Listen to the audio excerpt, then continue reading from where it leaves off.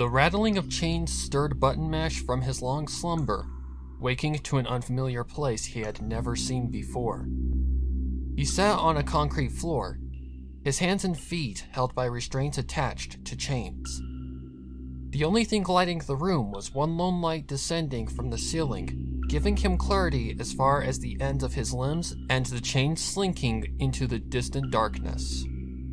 The smell was that of a stagnant mildew and unhealthy amounts of dust, and upon further rattling from the chains as he came to, rubbing his head and eyes free of any residue, reality hit Button immediately.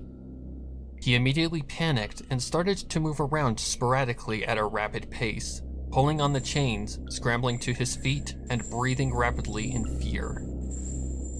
Help!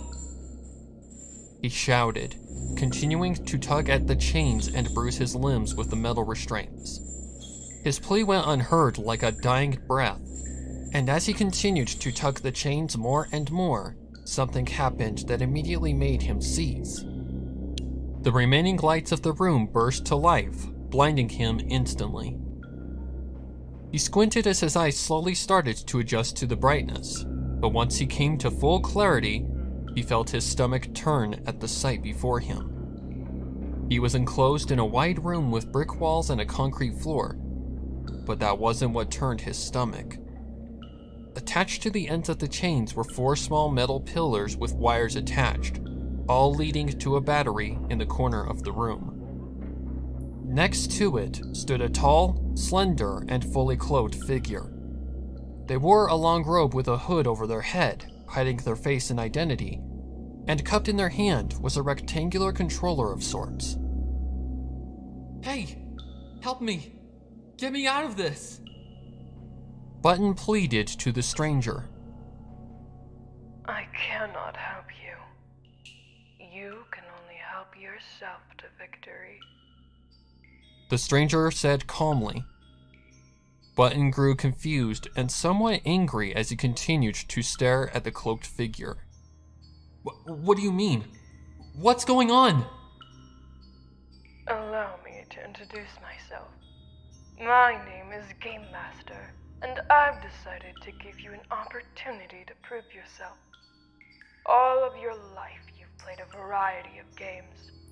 So now you will get the opportunity to survive a real game. And this game I've created for you. You will have to use knowledge you've gained from the games you play to survive and make choices that will decide your fate. Shall you make it to the end? Button was terrified. Who was this person that had thrown him into this horror show? He didn't recognize the voice and had never had a fallout with someone to form any grudges, so who would even pull something like this? Do I even get a choice? That is your first decision to make. Will you play? Whatever you decide will have consequences. Game Master confirmed. Button didn't even need a second thought to decide. No! I, I don't want anything to do with this twisted game. Hmm. Are you sure? The consequences could be dire. Sweetie might be disappointed that her knight in shining armor chose to let her die. Button felt his emotions culminate instantly, rising to the surface in an eruption of anger and tears. Where is she? What have you done to her? Safe and well, but only temporarily. The only way to find and save her is to play. Shall you survive and make all the right choices, you will be reunited with your wife once again. Now, I ask again, will you play? Button had no choice. He shook away his tears and answered, I will play, win, and then rip your throat out, whoever you are. Excellent. Let's get started then. In this game, there are three levels, each being harder than the last. The main challenge is that you only have until dawn to win and save your beloved Sweetie Belle. so I suggest you move quickly. If you don't complete the games by dawn, Sweetie Belle will die, and you'll immediately lose. The first level will be the most simple, shall you figure out how to escape it. So allow me to explain how you win this level. Your strains are currently attached to an electric circuit powered by the battery at my feet. A circuit that, after three recharges, will kill you. Somewhere in this room is a key to all four of your restraints. You must use your knowledge of games to find the key and free yourself before it's too late. No cheat sheets or special moves will save you, only yourself. Let the game begin. Game Master clicked the button on the controller in their hand, and immediately the sound of charging electricity became audible, causing Button to quickly act. He first tried his pockets, then rapidly patted himself down like a madman, feeling for anything abnormal. He got nothing, so he turned his attention back to the room and did his best to ignore the near peaking of the charge. His attention was averted, though, watching as his captor worked toward the exit, costing him precious time. Get back here! I hope to see you at the next level. They assured, placing down what Button assumed was a walkie talkie. The cloaked figure disappeared from sight, and in that time, Button had only tried to lunge out at his captor, causing a horrid surge of electricity to pulse throughout his entire body upon full charge being met. The surge lasted for five seconds that seemed like forever to Button, up until he was dropped to the ground and struggled to move back to his feet, the battery beginning its second recharge. He knew now that he couldn't afford to lose any more time, the electricity's effects still enveloping his body as much as the smell of burning flesh. He struggled to breathe as he focused on thinking hard. What games had he played with traps like these? And more importantly, how did they escape? It was difficult to think straight, but through his heavy breathing and blurred vision, he found the solution. Uh, the bricks! One has to be loose that's within my reach. He clarified confidently, moving to the left wall. He hugged the wall as he sporadically patted each brick, feeling for a loose one. He trembled at the charge reaching near full, continuing to practically massage the bricks up until he found that the left wall was blank of any loose bricks. That failure had cost him dearly, hearing the charge reach full and being met with another surge of electricity. This one was worse, as he collapsed to the floor and scrambled on the floor in unadulterated pain. He tried to crawl to the right wall as an advantage, but his muscles wouldn't comply, and all he could do was take it. The surge ended after another excruciating five seconds, and Button was surprised he was still conscious afterward. The same essence of burning flesh and inability to function followed, and Button was almost positive he couldn't get back up. His muscles were fried and shot, but Button's will to save Sweetie Belle carried him back onto his feet, stumbling over to the wall and unconsciously feeling for a loose brick. The final recharge was already a quarter of the way done by the time he got to where he currently was, so he worked fast, grazing the wall and violently patting each brick. He came to a seize by the chains at the horrifying discovery of no loose bricks, and immediately grew confused and terrified hearing the recharge grow closer to his fatality. He knew he couldn't recheck each brick, there simply wasn't enough time, so he thought fast about some other solution. Then he remembered that there was another wall, the one he'd woke up against. He scrambled to the only remaining wall and violently navigated the wall. He tapped each brick as fast as lightning, feeling nothing shift up until there was a rupture in the cycle of tapping the wall like a madman. A brick near the spot he had resided at the start of this nightmare had caved into the wall, a sight he acted quickly in response to. He grabbed the brick and threw it across the room, reaching into the open hole and finding something small. He didn't waste any time and took the key from its resting place, gripped it, and moved to the keyhole on his right leg restraint. Trying to ignore the charging sound, now 80% finished, he lodged the key into each of his restraints provided keyholes. His right leg was freed first, then his right arm and left leg. The left arm restraint was more stubborn, costing him precious time, and by the time he got the key lodged in correctly, the third surge had met full charge and engulfed Button's entire body yet again. Button seized at his fatal blow, but froze upon a sudden surprising realization. The force of that shock wasn't anywhere close to the previous two. It was bad, but the pain was mild in comparison, and he was managing to stay fully conscious. Upon one glance at the ground, he found the answer as to why. He had only one restraint attached, so only one catalyst was receiving the electricity rather than four, therefore reducing the electricity by a ton. The surge ended, and Button quickly proceeded to release the restraint lodged to his right wrist, throwing it to the ground with a hard clang. Examining his wounds, Button found that the areas the restraints had resided were burned majorly, and certain parts of his body were numb, probably meaning he had taken nerve damage.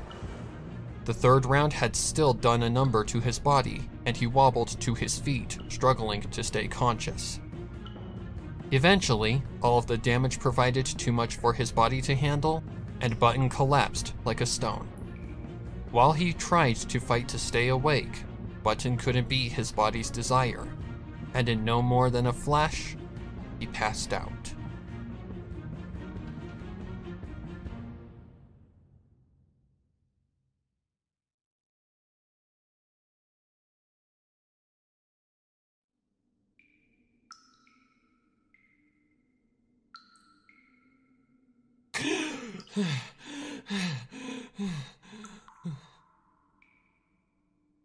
Button awoke with a startle, his vision blurry and muscles shouting in pain.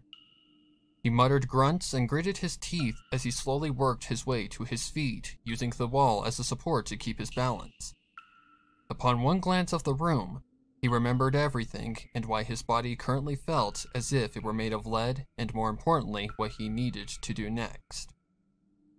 Once he felt safe to walk, he carefully paced himself over to the walkie-talkie that his unidentified captor had left behind for him to obtain.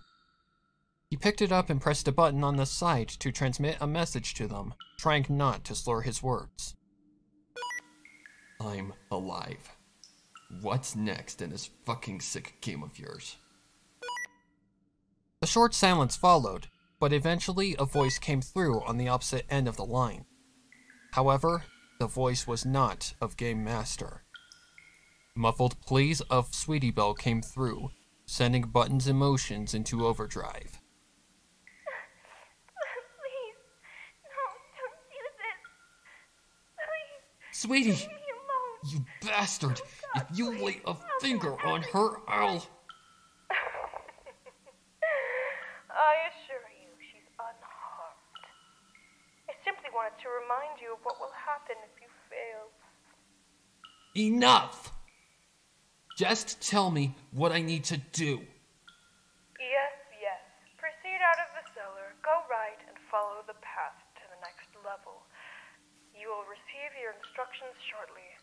I suggest you hurry, though. The clock is ticking. The radio went dead with silence, to which Button growled at. We'll see who lives in the end. He muttered under his breath, working toward the exit of what he knew now was a cellar. He carefully worked up the stone steps and pushed open two wooden slabs that worked as a door, breathing in the fresh night air. His lungs welcomed the intakes of the cool, thin air, dancing at the shift from the musty cellar dust to the healthy essence of oxygen. But Button couldn't relish in the moment. He was more focused on moving quickly. He had no idea how long he'd been out, and dawn was his deadline.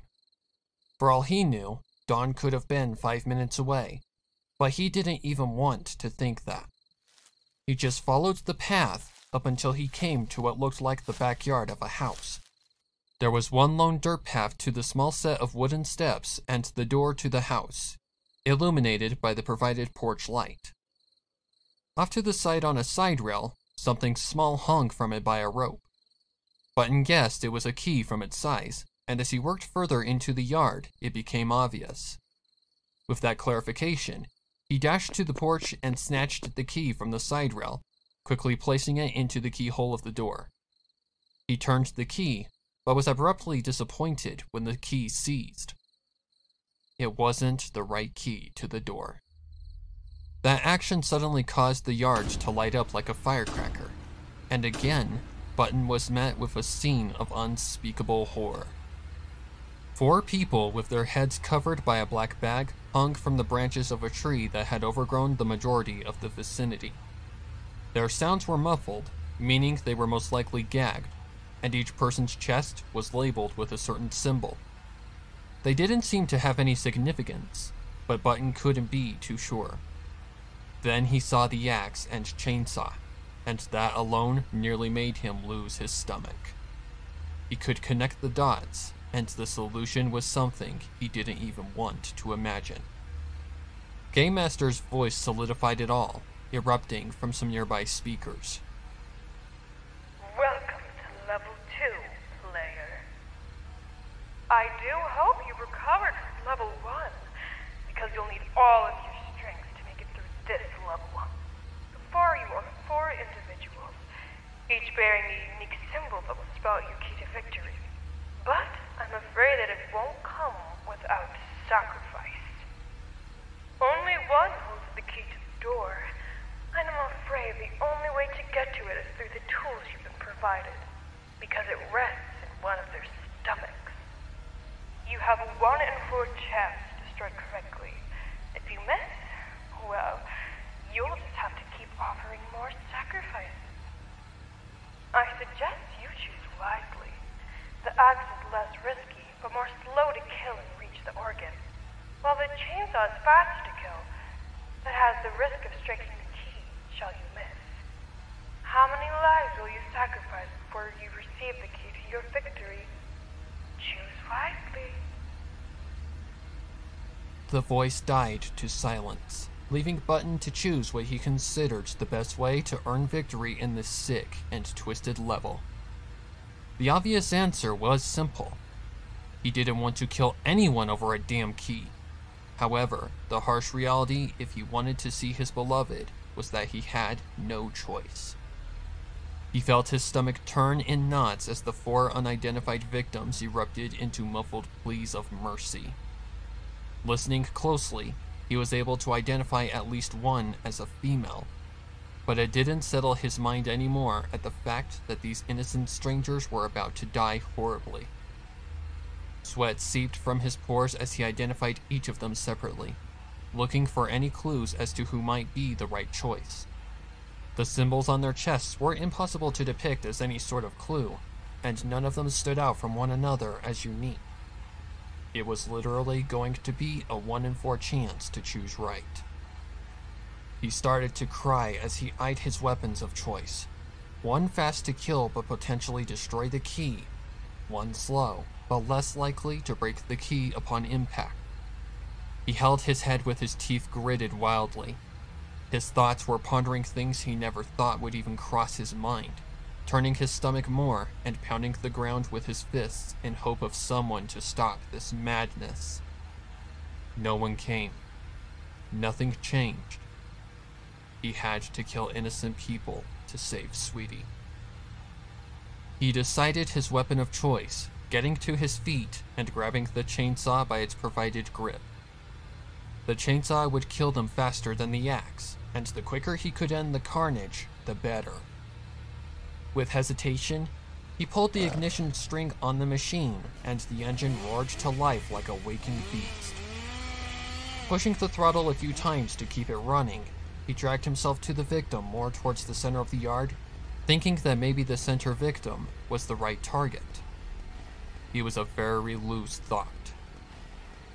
Whimpering and shaking in terror and sadness, he placed the head of the chainsaw just above where the stomach would reside, then whispered one thing before gripping the throttle. I. I'm so sorry. The chainsaw revved to life, and in a mix of muffled screams of pain, blood splatter, and guts falling to the ground, the chain's blades cut through the body like butter. Button continued to whimper and sob through the carnage, doing his best to keep focus on the blood splattering his face and body constantly, up until the rigidness of the blade's path ended and became free again. The body convulsed and bled severely as Button moved to the ground in search of the stomach, digging through each slimy and bloody organ like a carnivore devouring its meal. Button knew very little about anatomy, nor had he ever seen an actual human organ system in his life. He was literally digging blindly, checking each organ for the glimmer of the key's metal. Five minutes in, he finally found the stomach, but to his disappointment and horror, no key resided inside of the rubbery sack. He had chosen wrong. He screamed into a breakdown, getting back to his feet and picking up the chainsaw again. He felt sick as he moved to the next body. There was no sort of strategy to this. He was just taking shots in the dark until he got the right target. Therefore, he had no plan as he engaged the throttle yet again on the next body in line, hearing only a cacophony of sounds in similarity to his first target's body being shredded in half. Blood coated his body again, and the victim shook wildly in an attempt to escape their torment as the blades navigated through their organs, nerves, and spine. Button only grew more distraught and nauseated at the horror and disturbing scene before his eyes as the chainsaw sliced and killed the innocent stranger more and more. Then the rigid feeling stopped, and the lower half of his victim fell into the pile of macabre contents and unholy amounts of blood. Now that he knew what the stomach looked like, he saved himself time by sliding the many other organs out of the way, and this time, only 40 seconds in, he found the stomach. He prayed and pleaded for this to be the correct victim, but upon emptying the contents of the organ, no key met the ground. God damn it! He shouted in defeat, feeling his mind slowly start to fall into madness. Between his actions, the smell and sight of blood, the unholy amounts of gore, and all of the carnage, Button could feel his mentality starting to slip. He got back up and gripped the chainsaw again, walking to his third victim. His lack of mentality had caused him to become numb to the macabre, shredding into his third victim almost unconsciously. The same thing replayed as he navigated. More blood, more gore, more muffled screams, more struggling, more loss of hope. He knew he had no choice but to kill these people, and while he was forever sorry and regretted everything he had done to them, he knew he'd never forgive himself, nor would Celestia. He felt selfish for taking the lives of others for his own wants, but at the same time, was he being selfish in saving Sweetie by killing innocent people? It was a double edged sword with no right answer. Even if he had chosen to stop then and there, would these people have been spared or just killed in the aftermath? Button didn't know, being snapped out of his thoughts by the thump of the lower body of victim number three meeting the ground. Reluctantly, he returned to the ground and dug through the pool of blood and organs for the stomach, finding it rather quickly. He clenched his fist on the rubbery organ, emptying its contents and hoping for the nightmare to finally be over. No key exited the organ. Button threw the organ across the yard and screamed in agony. He had ended up having to sacrifice all of them to win. It couldn't just have been one or two sacrifices. No, it had to be all four. Button eyed his last victim, realizing it was the lone female victim of the mix, and immediately he realized that he was an idiot for not seeing the obvious answer to which one had the key. She was the only female, an obvious giveaway and clue, but at this point, he just wanted this nightmare to be done and over with, So he grabbed the chainsaw one last time, walked to where he was at a good angle to start shredding her in half, and once he had a good spot, went full throttle. He sobbed, screamed, and broke into insanity as he cut deeper and deeper into the lady. Her muffled wails and screams broke through whatever was gagging her mouth with each second that passed, and Button could only do nothing but shut them out as he finished the task. Her lower half fell, and Button dived to the ground, throwing the chainsaw across the yard. He searched through the entire carnage, finding the stomach quickly and hastily squeezing out the contents. It took a second, and after another good clench of the rubbery and bloody organ, a small metal key collapsed to the ground, its surface reflecting in the light of the yard. Button quickly grabbed the glimmering object from the ground and hastily made his way to the door again, lodging the key into the keyhole and turning it violently. A click followed, confirming that this horrible nightmare was finally over, or at least for the time being. Before entering, he gazed back one last time at the four dead and mutilated bodies hanging like additions to the tangled and overgrown branches of the tree. The sight made him sick to his stomach, but despite how he felt about himself and what he'd done, he knew he had to keep going. He only spoke two words before entering through the door. I'm so sorry.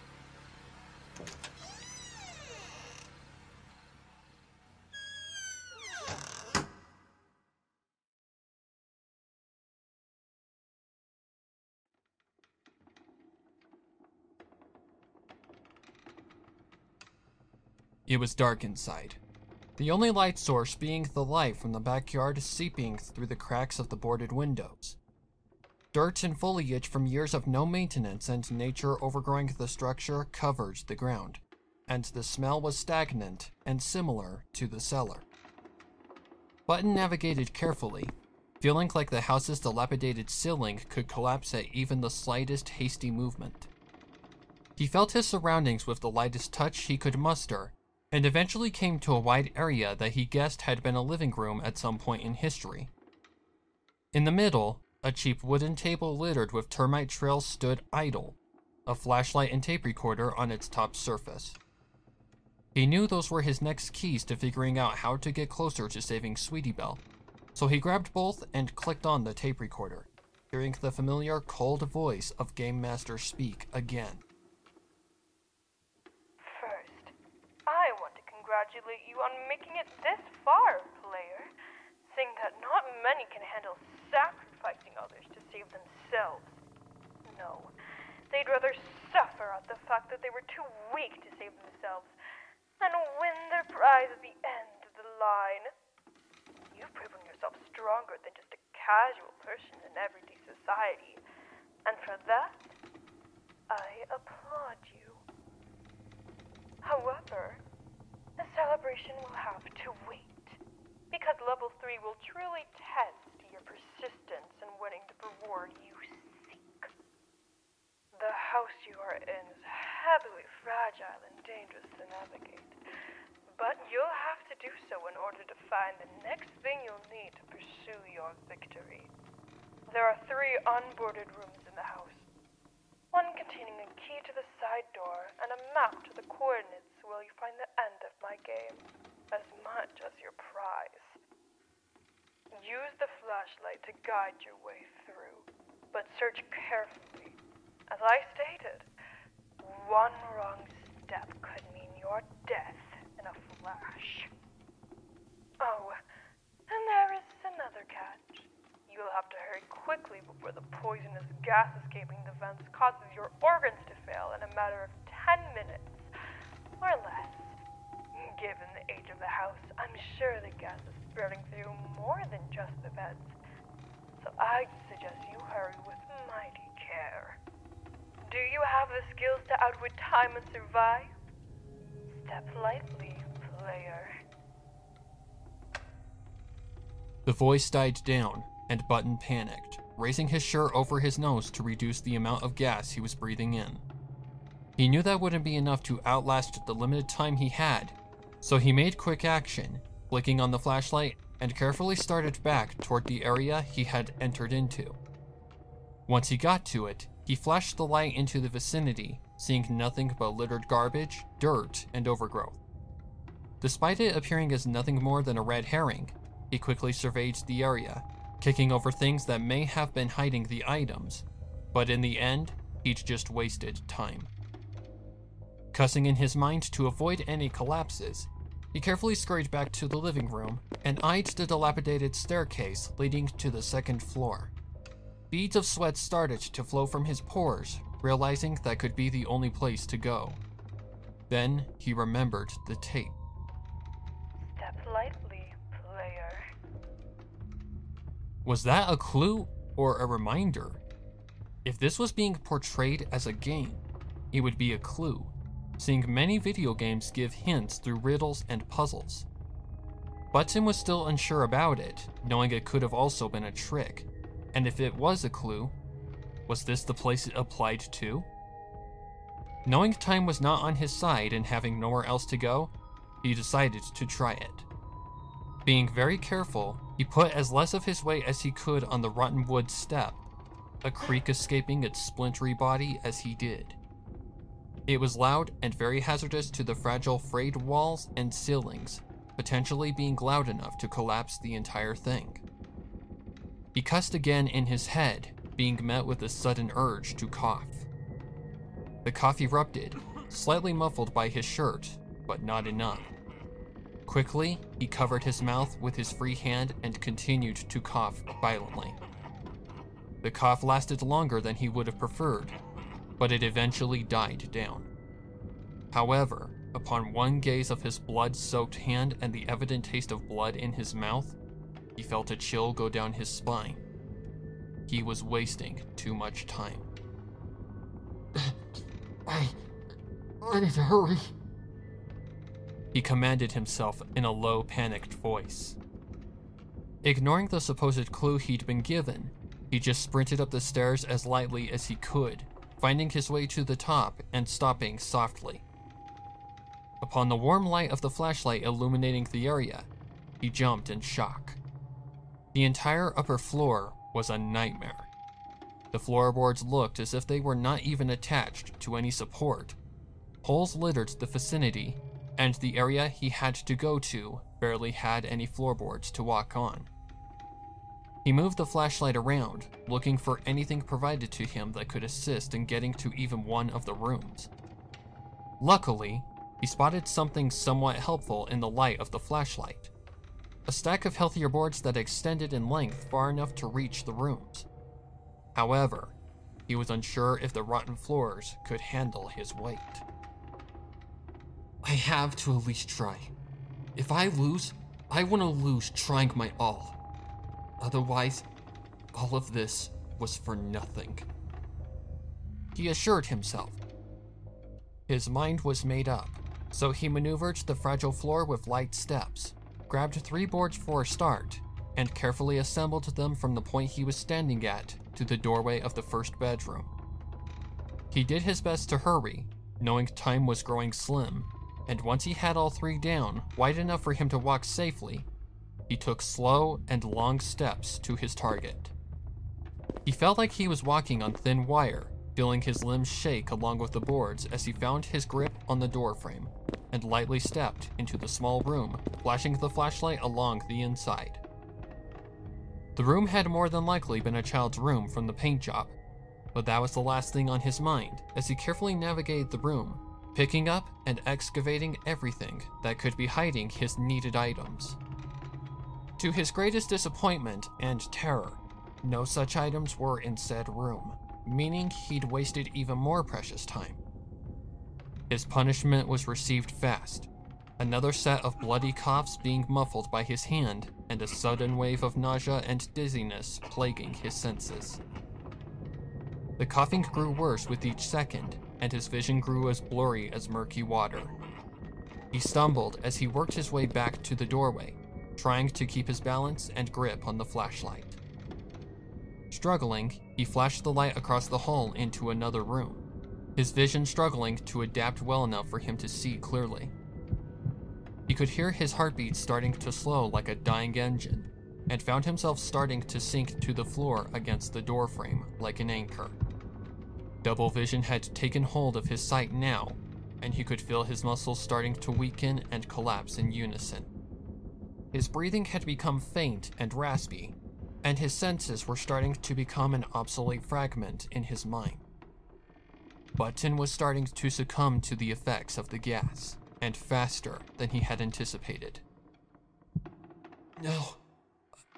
I need to get. His voice was a whisper, and all his body was telling him to do was sleep. Sleep, and the pain, agony, regret, and terror would all go away. He could be free of that house and the hell he'd been forced into.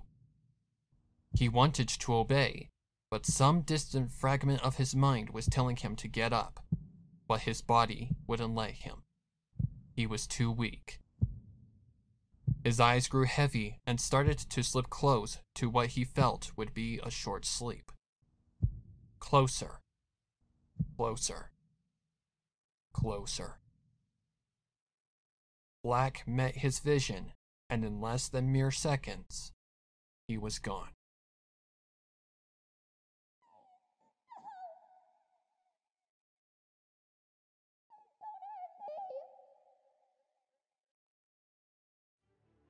A sound, distant and faint, but faint enough for him to hear clearly. It was a familiar and sweet sound, up until it grew clearer and clearer. Then,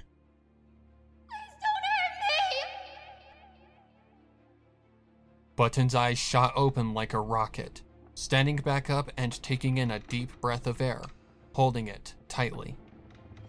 Flashing the light across the hall again, he eyed the room illuminated by the light. It was wide and empty, absent of everything except for a single bed and deteriorated nightstand. He couldn't assume it was absent of the two items, but at the same time, his time was very little, and he couldn't afford to reposition the good boards he had been provided for a guaranteed safe trip into the next room. He had to move quickly, so he just threw all caution he had out the window and jumped into the next room, landing as softly as he could possibly manage. The boards creaked like a siren's song upon landing, but luckily he had been spared the house collapsing.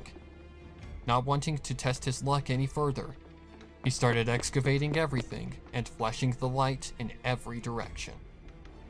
He could feel his lungs starting to give in, but he just ignored the evident struggle and searched everything.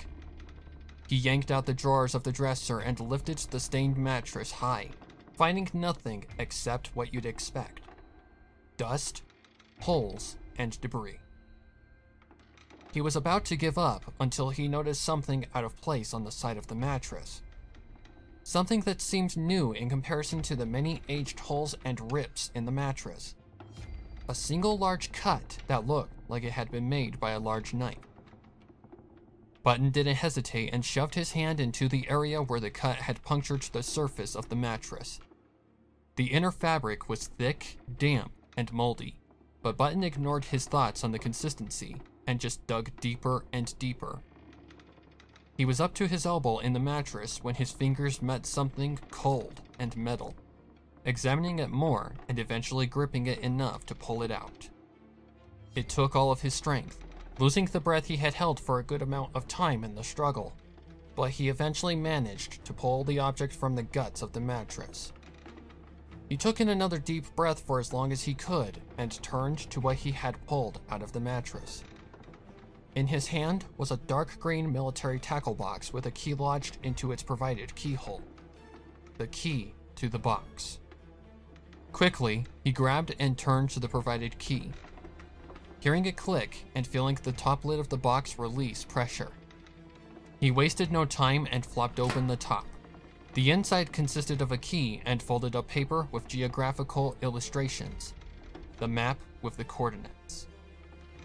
Starting to get dizzy, he grabbed both of the objects, his flashlight, and proceeded to get out of that house. He jumped across the hall again, hearing the weak floors creak as he landed, and just sprinted across his makeshift bridge as fast as he could.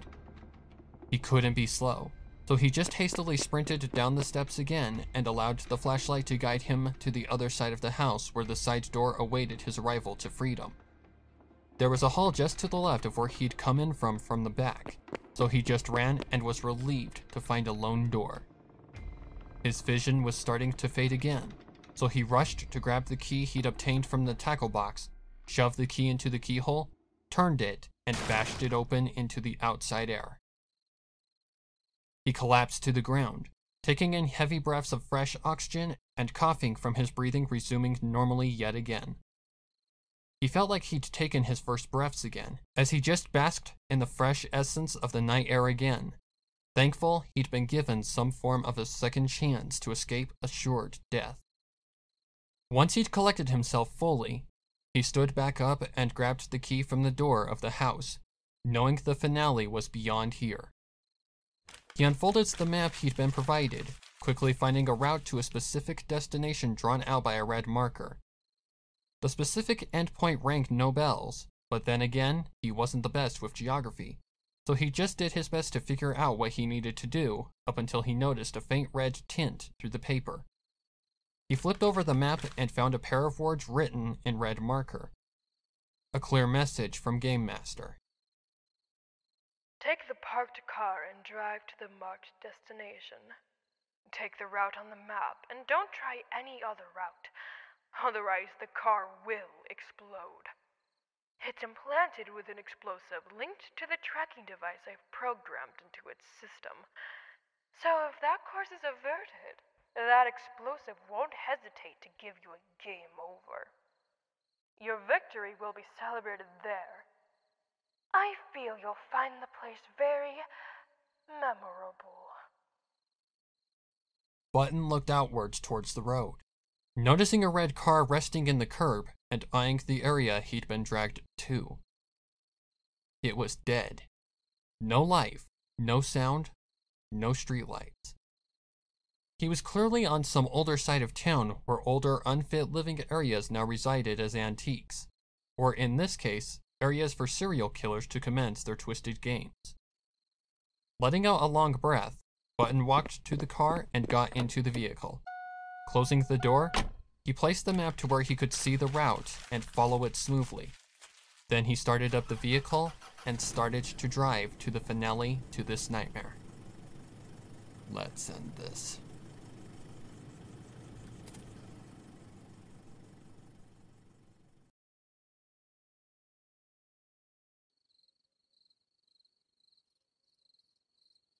The drive had been long and quiet, Button's thoughts being his only company the entire way. The route had been a trek through the backwoods of the town, the roads unkempt, rusted signs reflecting in the headlights, wildlife playing suicide, and no sign of any other vehicle in sight. It had been uneventful, and upon arriving at his destination, he had been surprised and somewhat struck with nostalgia. It was the old arcade from his early days as a kid. It had been decrepit and boarded up for years now, after Button had taken interest in more than just gaming. Puberty hit, and he started to get around more and engage in things you'd expect teens to do, stupidly and with no regrets whatsoever. Button felt the memories flow by in a single wave of reminiscence as he closed the car door and moved toward the building, unsure of what was going to happen. He hadn't caught any sign of a clock in his drive because of the route, so he still had no eye or ear of how close it was to dawn. Luckily, he couldn't see any sign of the sun peeking over the horizon, so that was a good assurance that he wasn't too late to save Sweetie. He walked to the back of the building and looked for any open windows, but saw none, and the door was clearly locked. He was just about to cuss until he saw a lone walkie-talkie resting on a trash can, grabbing it hastily and pressing the proper button to transmit a message. I'm here. Now let her go, you asshole. Patience. Your victory party is just getting started. Come, have some cake with us. The voice died, but upon the silence of the radio, The back door unlocked and opened ominously. Carrying the flashlight, Button entered the building, caution at the highest of levels as he walked. The inside of the building was as expected, but not as ridden as Button would have thought after all the years it had been shut down. It was surprisingly clean, with the exception of little spiderwebs and minor debris littered on the floor where the game consoles used to sit, their impressions being enough of a confirmation. His memories of playing for hours and spending every drop of his allowance started to flood his vision as he found that big red arrows had been placed on the ground, directing him to his next and final stage. The confrontation he'd been anticipating since level 1. The final boss.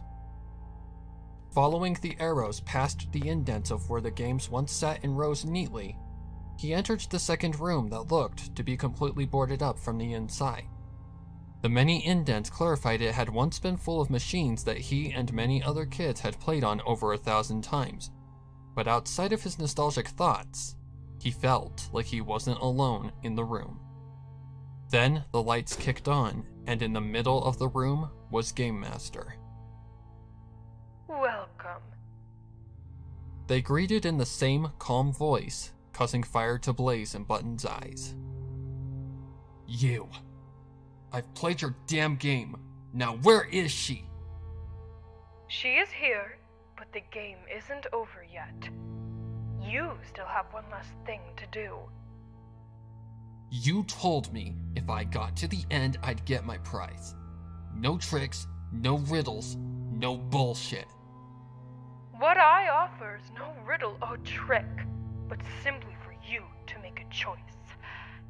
However, just like in the cellar, whatever choice you make will have consequences. But shall you choose right, you will defeat me and win the game. Choose wrong, you will lose more than just your wife. In this final stage, I present you with two choices.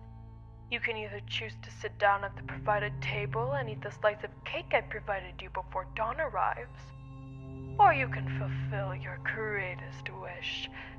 Take the gun on the opposite side of the table, shoot me dead, and retrieve your wife from the room I have locked her in. The key to unlock it is around my neck. Is victory in kindness or rage, player? Win or lose, the choice is yours. Button just stared at his captor, disgusted that they even had the slightest nerve to put him in any further predicaments.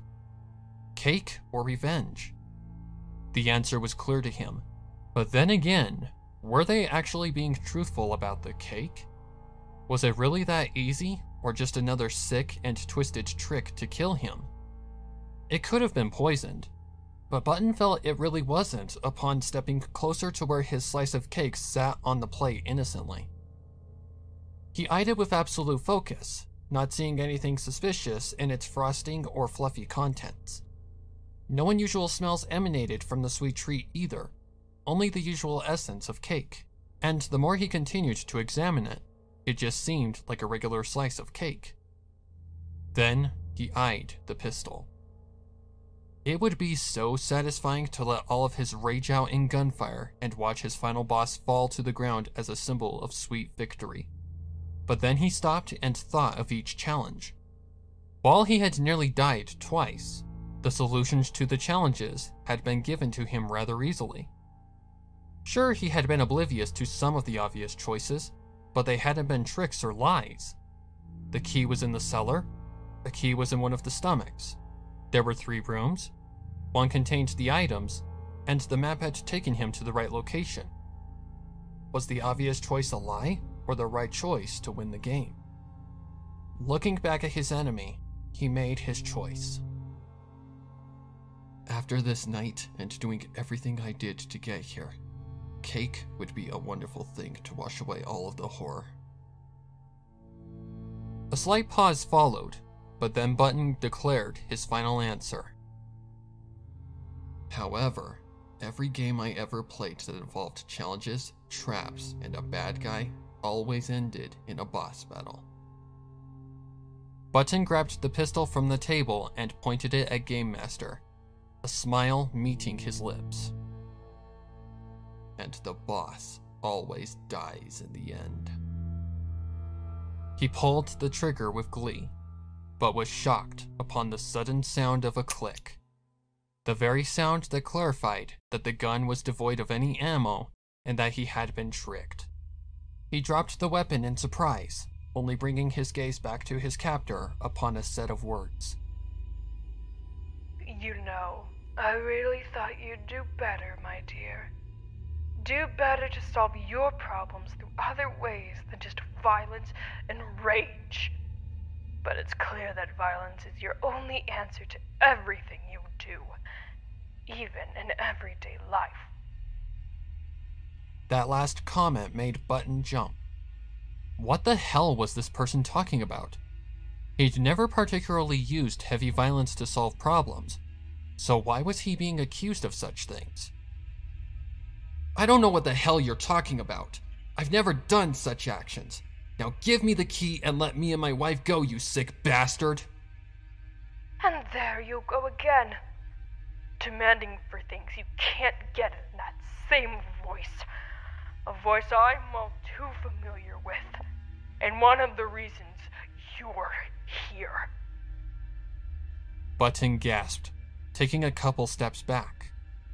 The words just spoken had sent an ice cold shiver straight down his spine, starting to fumble for words in absolute shock. who, who are you? You mean you haven't figured it out by now? They replied, starting to pull their hood back. That's surprising, seeing you're normally great at games. The face that manifested from the shadows of the hood made Button's eyes widen and every hair on the back of his neck stand up straight. His blood ran as cold as ice, and his limbs shook rapidly as he stared in horror at the now revealed Game Master. What? Hello, darling. Spoke the voice of Sweetie Belle, no longer cloaked by the voice changer that she'd used to manipulate it. No, this can't. It, it can't be you. Y you'd never do this. Button just stood baffled at the sight of his wife. The unmasked psychopath that had nearly sent him to death twice. Nothing but disbelief, confusion, and shock swarmed his mind like a hive of angry bees as he tried to stay on his feet. You're right. I would never do such things. You pushed me to do them. What are you talking about? What have I done to deserve this? Sweetie frowned, growing angry and annoyed. Where do they come from, darling? Button was confused. Where do what come from? The bruises. The scars and injuries you've left out of your rage and violence. Where do they come from? this again? We've talked about this. You caused these things yourself.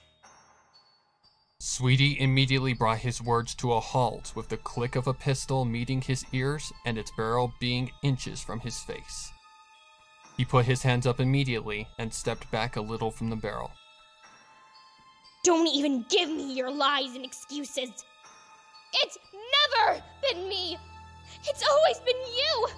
And all I've ever done is play pretend like nothing was wrong with our relationship up until I had enough. I forgave you for all the beatings, hoping you would listen and change, but you didn't.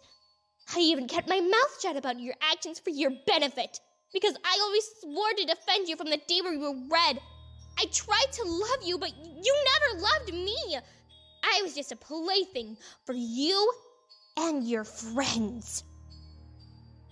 Button only stood in shock, trying to find the right words to say.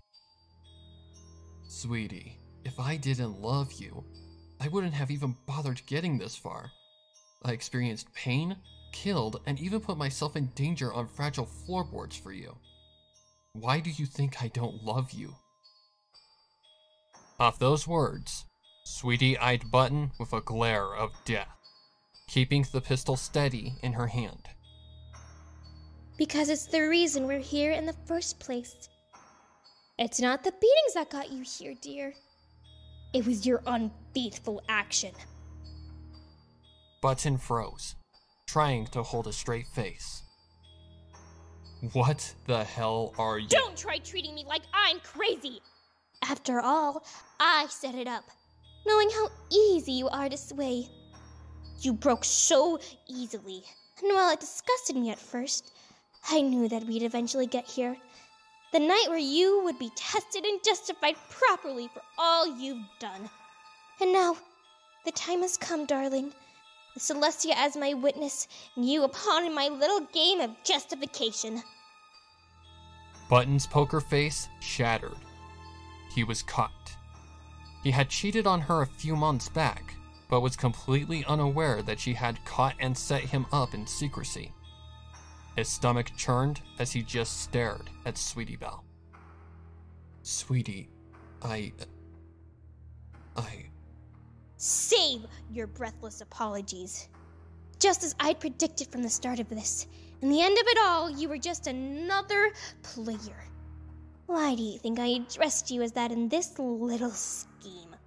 Because after I found you in bed with her, that's all you ever were and would be from then on.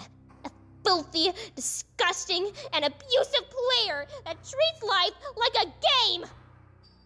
The point of this was to make you lose everything. And you succeeded with my greatest expectations. It's even thanks to you that some of the most hated people that were in my life are out of my way and rid of my life for eternity. I'm sure Celestia can forgive me for offering pain and death to those who caused me a great deal of pain and permanent physical and mental scars. They were no better players than you, sweetheart. Violators innocent lives. Button swallowed hard, remembering the four victims in the second level. What are you talking about? You don't think I know? You're free for all three years ago at your mom's house? The little scheme you and the girl came up with. The one who ended up being the key to my eternal mental and physical scars that I still carry. The one I gave a key for you to find, and in the process, removed from my memories as a key bane of my existence, along with her other cohorts. Button gasped and widened his eyes in horror. Sweetie Belle should have had no memory of that, but from what had just been clarified, knowing the date, place, and all, he knew he couldn't talk his way out of this. Then there was the comment that had caused his stomach contents to start slithering up his esophagus. The one that clarified he had been right about whom he assumed Sweetie had referenced previously in her comment about being forgiven by Celestia. The people he had mutilated in the tree out of desperation to find the key and get to Sweetie Belle. The very person who had stuck him into this nightmare in the first place. Sweetie Belle continued to speak as Button fought his stomach contents back down into their original resting place. You thought I was asleep, but I was awake and in a state of paralysis the entire time, while you and your friends had your fun. The single act that made me question if I was going crazy. Tell me, dear, was it fun? Was it fun defiling and violating me with your little butts? What even anticipated you to do that? We swore to keep each other through sickness and in health, and stand by each other's sides till death do us part. So what if Celestia's name led you to do something so vile and disgusting? Button had no words, only silence at her accusations. He couldn't escape the truth. That's what I thought. Now, allow me to bring you to light on what all of this meant.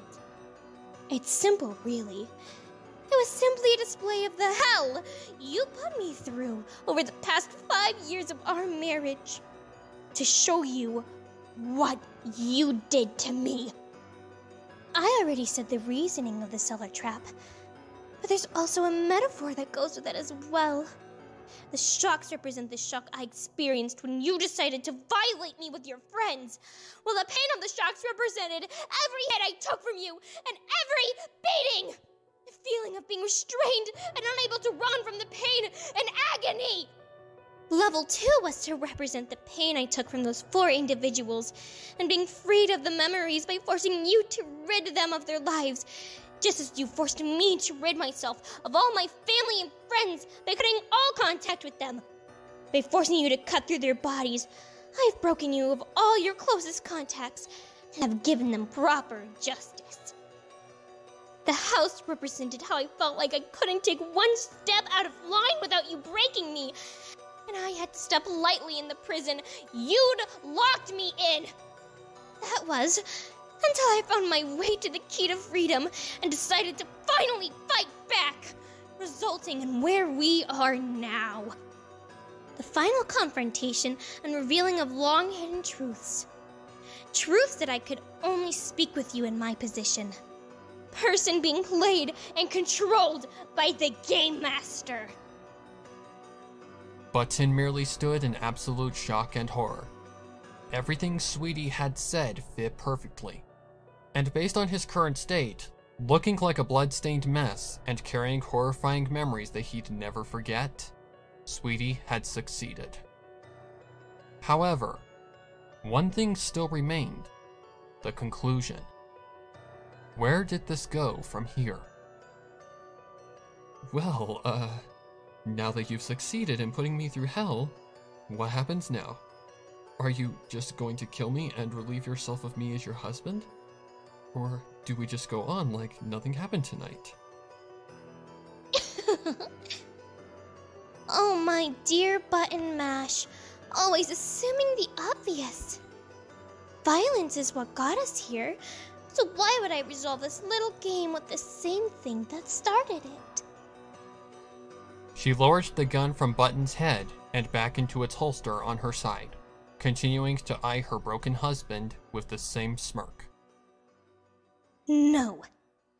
This will end another way. The way it deserves to, my dear. Button couldn't believe what Sweetie had just done, lowering her only defense in the matter. And considering she couldn't fight to save her life, Button knew he had the advantage. He chuckled deviously at Sweetie.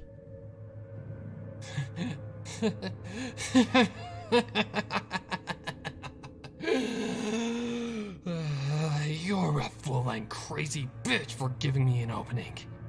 Now, I'm going to beat you senseless, then lock you up in that cellar to be fried to death. Raising his fists, Sweetie Belle didn't seem to move or cower. You should have just stayed quiet like I told you. Now, you pay for everything you did to me tonight. Button prepared a hard punch, but before he could even get his fist forward, something stopped him. A pinch that followed quickly with a wave of dizziness and sleepiness, quickly overwhelming his senses. He hit the floor, staring back up through his blurry vision at Sweetie and attempting to grab her, but his muscles fell dead on the floor like stones. His vision began to fade as his body fell numb. But right as everything faded to black, something caught his eye. Something familiar. It was too late to tell as the world crumbled to nothing but a bottomless abyss, and Button fell dead weight on the floor at Sweetie's cloaked feet.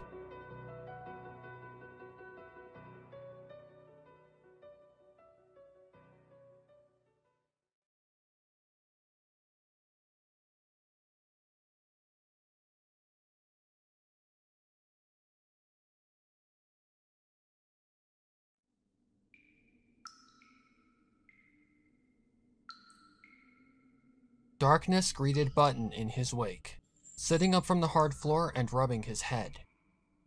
However, a sound made his senses peak to a panicked state. Chains.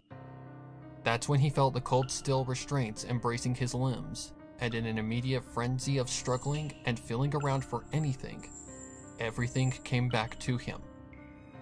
The game, Sweetie Belle, the truth. Every horrifying detail he'd been put through in the previous night. Standing up, he proceeded to yell for help, only to be met with the reverberations of his voice within wherever he currently resided. He yelled a few more times, searching for a light switch, but no such thing came in the space. He hadn't even found any walls within the vicinity. All he had found was the ends of his restraints and empty space. He eventually stopped, and only after stopping found that something was around his neck. Feeling it out in the darkness, he immediately knew what it was, having become quite attuned to said object within the past night. It was a tape recorder. He felt his entire body shake upon discovering it, knowing it meant nothing but bad news. But considering he eventually would have to play it, he mustered up the strength to find and push the play button. However, as the tape rolled, he was surprised. He had expected Sweetie's voice, but it wasn't hers. It was another familiar voice he'd come to know of as of a few months or so prior to all of this. Hello, Button. It's me, Erica, the woman you cheated on your wife with. You're probably wondering why I'm speaking instead of Sweetie. And don't worry, I'll ease your confusion. To put it straight, I'm the reason you're here or were ever put through everything you've faced as of late. You see, I met your wife one day, and she told me everything about you and what she wanted to do to you, but was too afraid to. Therefore, I decided to help her, given I've dealt with pigs just like you, and know how to break them. I had to be sure it was worth wasting my time and energy on you. So Sweetie proposed a meetup between you and I, and in just a matter of a few cute words, you have proven to me exactly what you are. A player. Sweetie merely came up with the ideas and metaphors. I came up with the traps and challenges you had to endure. However, even given all that you had done to her, Sweetie still wanted you to succeed. So I altered my original plans to give you a fighting chance. These included turning on the lights, giving you fair amounts of time, and even giving you obvious hints to succeed. However, even after giving you all of that, you still failed and proved yourself nothing but a failure, pig, and player to human nature. So now, you are given the same punishment as you gave Sweetie for five years. You will live the rest of your days confined and trapped in your own personal prison, bound to nothing but the sight of darkness and absolute silence. The same thing you stuck your loyal and faithful wife in for so long, until she finally took control of the player and made her own decisions. Scream all you want. No civilization is in sight for over a hundred miles from where you are.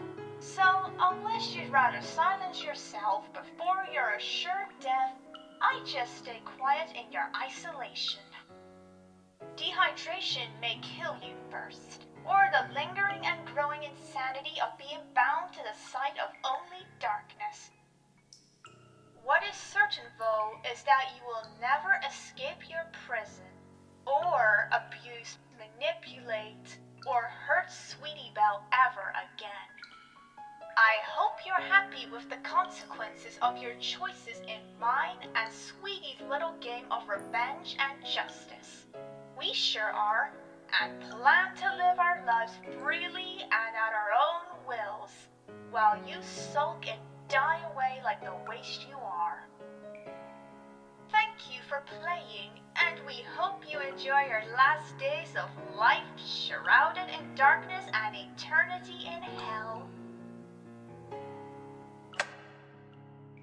The tape ended, and Button just stood in the darkness, defeated.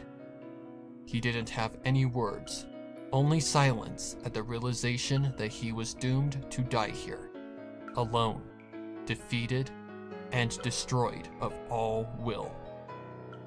He had lost everything the game, his freedom, his life. Not even Celestia could save him. And as he felt the tape recorder slip from his grasp, one last scream escaped him, devoid of any hope or light in the endless darkness.